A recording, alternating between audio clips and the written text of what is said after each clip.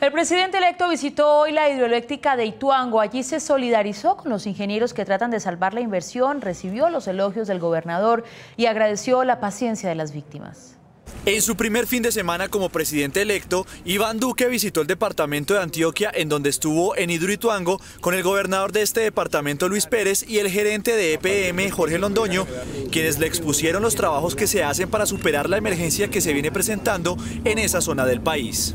El deadline para saber si la obra se recupera estructuralmente. Octubre. Octubre, noviembre. ¿Por qué octubre, noviembre? Porque es la fecha en que vamos a poder cerrar las máquinas.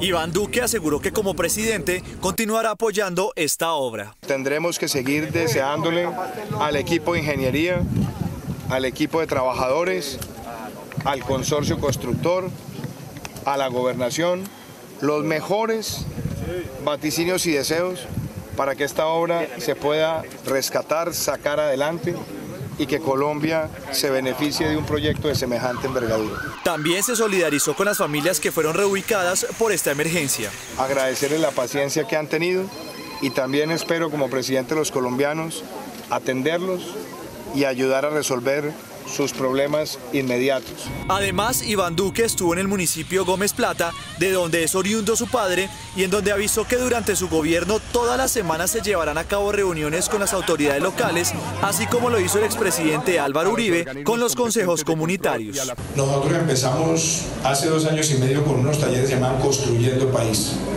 Y hoy empieza el estilo de nuestro gobierno. Cuando uno ve a nuestro presidente Duque recorriendo las calles. Hay allí un contraste que es bueno resaltar. Un pueblo esperando afecto, esperando amor de su gobernante. Y un gobernante nuevo dándole amor a su pueblo. Aunque aseguró que no podrá hacer milagros, el presidente electo se comprometió a que cada semana estará recorriendo diferentes municipios del país para escuchar a las comunidades y sus problemas.